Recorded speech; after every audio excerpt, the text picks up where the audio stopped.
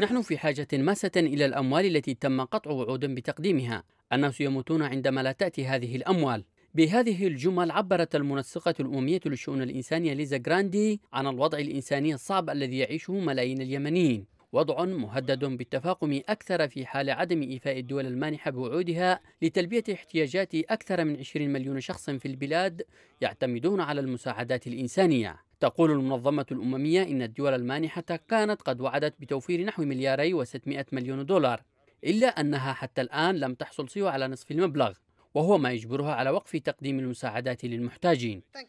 ويهدد نقص التمويل الكافي حسب مكتب الشؤون الإنسانية بإغلاق 22 برنامجا منقذا للأرواح.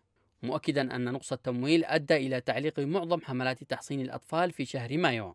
مكتب الشؤون الإنسانية أشار إلى أن نقص التمويل سيؤدي إلى تخفيض كميات الحصص الغذائية لأكثر من 12 مليون شخص.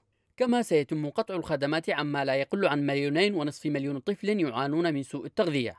من جانبها طالبت الحكومة المانحين بالالتزام بتعهداتهم التمويلية لخطة الاستجابة الإنسانية لمواجهة الكوارث التي تسببت بها ميليشيا الحوثي. داعية في الوقت ذاته المانحين والمنظمات الدولية إلى إجراء تصحيح شامل لآلية العمل الإغاثي في اليمن.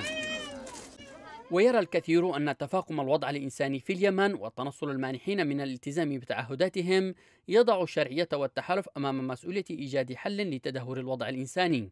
وهو أمر يبدو بعيدا في ظل استمرار الحرب التي لا تعرقل عمليات الاستجابة الإنسانية فقط بل وتضاعف من أعداد الأشخاص الذين يدخلون قوائمها كل يوم.